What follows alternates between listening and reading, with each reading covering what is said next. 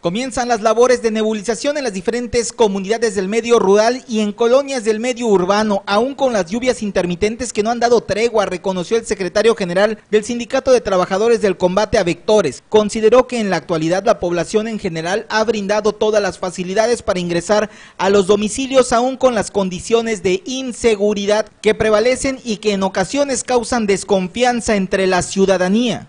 Ahorita la población ya está, cooperando la población con nosotros, está cooperando al 100%. Inclusive este, tenemos brigadas de eliminación de criaderos para los sábados y domingos en, las colonias ya mencionadas.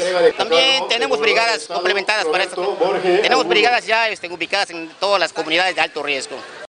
Ahora solo resta esperar que las lluvias cedan por completo para que los efectos de la repartición de abate y la nebulización puedan surtir efecto al 100% y puedan percibirse por la ciudadanía que reconoció se quejan constantemente de la gran cantidad de moscos que tienen asolados a los habitantes de la región.